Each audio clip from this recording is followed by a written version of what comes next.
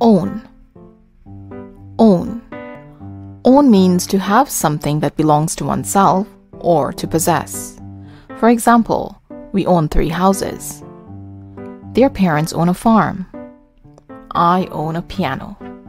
So, next time someone possesses something, why not use the word own instead?